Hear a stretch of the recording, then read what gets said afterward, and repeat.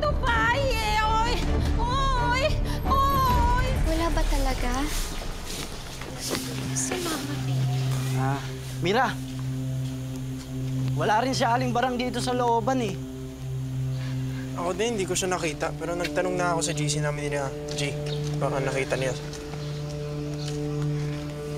Ate, nag-aalala na ako. Hindi naman nawawala ng ganito katagal si Mama B. Paano, paano ko pumunta siya kay Aling Deborah? Di ba lagi siya sumusugod doon? Ganito na lang, maghiwa-hiwalay tayo ulit para mabilis natin siya mahanap, ha? Oh, sige. Dito kami ni Mira. Pupuntahan namin yung tinatambayan ni Aling Barang. Baka nandun siya. Sige, kami ni Joy doon naman sa healing center. Ingat kayo, ha? Pio, bantayan mo, ha? Nasaan na kaya si Mama B? Ka na malungkot, ha? Mahanap din natin si Aling Barang. Pio, hindi ko alam kung anong gagawin ko pag may nangyari sa kanya. Hindi siya pwede mawala ulit sa amin. Tara, hanapin na natin si Mama B. Mother, okay na tayo. Nabayaran ko na yung mga hospital expenses ng mga volunteers. Tapos yung natira, ibinigay ko na sa abogado para ma-distribute na maayos. Iurong na daw nila yung kaso. Salamat, Tomas.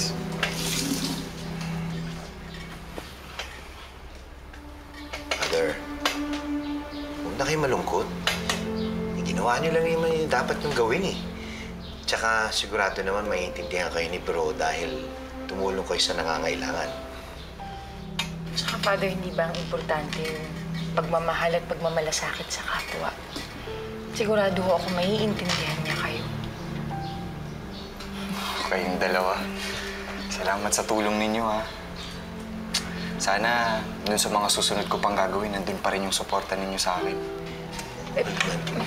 Ano ho bang pinaplano niyo, Father? Itutuloy ko yung pagpapatayo ng simbahan. Kahit magsimula ako sa pinakasimula gagawin ko. Hindi ako titigil hanggat hindi nagkakaroon ng sariling simbahan ng bayan ng Hermoso.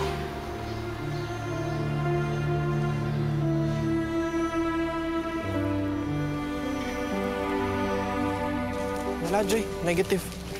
Di daw napadaan dito si Haring Barang. Sabi din ni G, hindi daw nila nakita.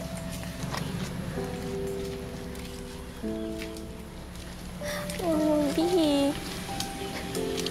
Saan ka ba kasi? Joy, Mama B. Joy. Sorry na. No, no, no, no, no. Huwag ka na mag-sorry. Look at me. Look at me. Naiintindihan kita. Hindi ko alam anong gagawin ko eh. Kinalo ko si Mama B, hindi niya kami iwan ng gano'n-gano'n lang. Hindi nga. Yeah, please, please, look at me, okay? Huwag mo nang isipin yan. Gagawin natin lahat para mahanap natin si Mama B. Nakot ako, Rafa. Hindi ko alam anong gagawin ko pag may nangyari kay Mama B. Sila lang ni yung meron ako.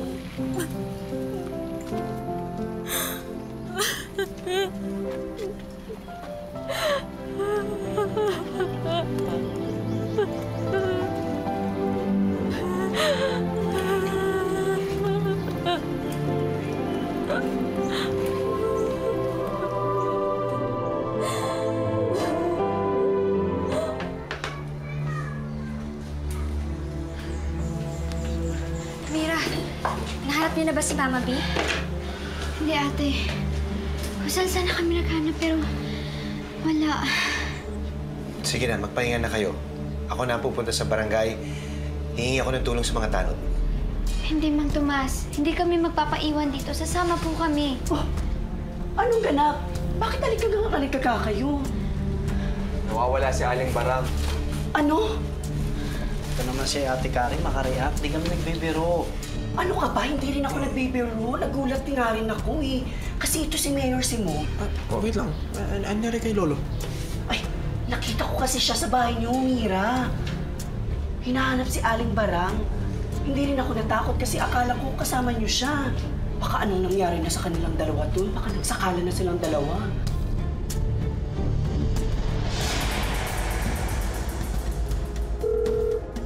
Hello? Hello po, ma'am. Nandito na po sa mental si Barang. Okay. Good. Thank you.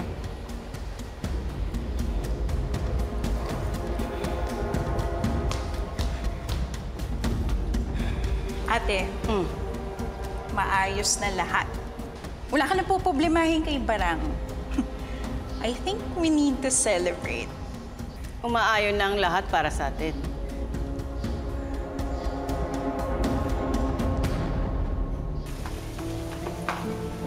Lo! Oh, Rafa! Napadalaw ka yata dito sa teritoryo ko. And you brought friends. Yeah. Sir Simon, alam niyo po ba kung nasan si Mama B? Dumaan daw ho kayo sa bahay nila Mira kanina dahil hinahanap niyo si Mama B. Ano ho kailangan niyo sa kanya? Ah, oo, dumano ko sa kanya kasi gusto ko siyang kamustahin. Pagkatapos ng nangyari sa kanya. Pero wala siya doon, kaya umalis ako kagad. Eh, kasi alam ko, eh, pakalat-kalat lang siya eh. Bakit niyo naman ho kakamustahin si Mama B? Abay, lahat ba naman ang gagawin ko yung mamasamain ninyo? Hmm?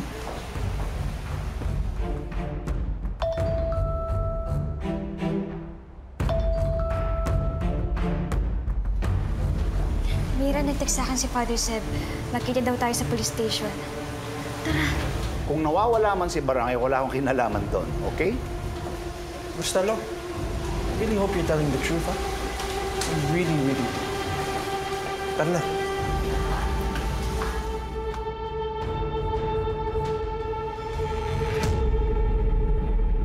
Barang, barang, kailangan kang makatakas dito, barang ha.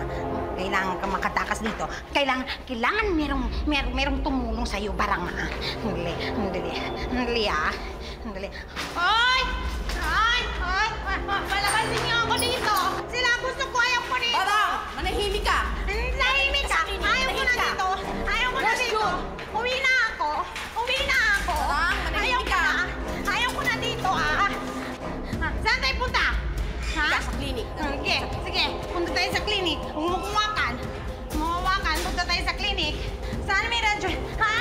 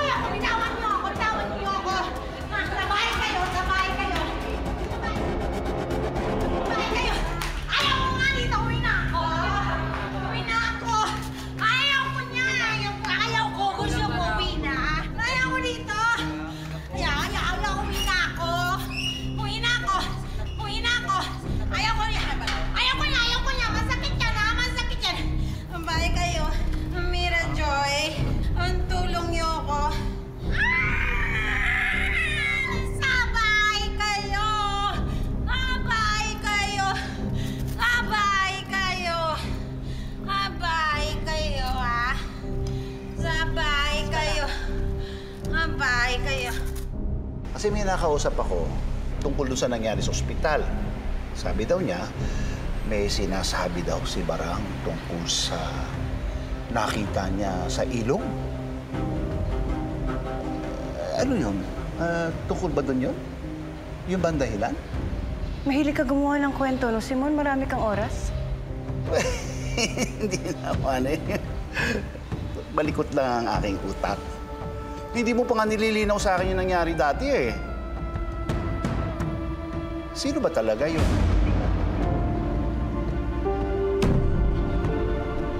Uy, silent type. Iniisip ko lang naman kung paano ako makakatulong. Diba? Sa akin lang naman eh. Pwede naman ako magbulag-bulagan. Mag-ingat ka lang. Kasi baka hindi mo alam eh, lumalabas na ang katotohanan. Hindi mo pa nakakalata. At mag-ingat ka kinabarang at sa mga batang yon. Kasi parang mga watawat yun, habang hinihila mo pababa, eh lalo silang umaangat. Excuse me, nakaka-istorbo ka na eh. Marami pa akong gagawin. Oh, busy? Sana ikaw rin.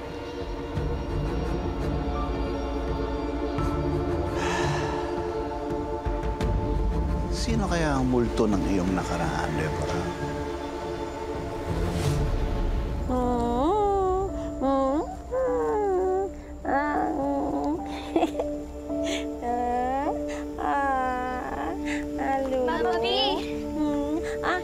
Ah, Joy, ah, tingnan nyo, kita ko na si Lulu, kita ko na yung anak ko.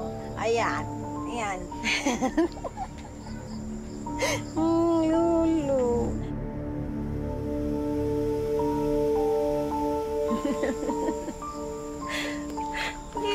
na anak ko.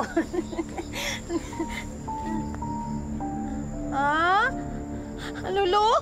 Lu Lucia? Ah? ah, ah, sa saan na Lucia? Oh! Mira, Joy!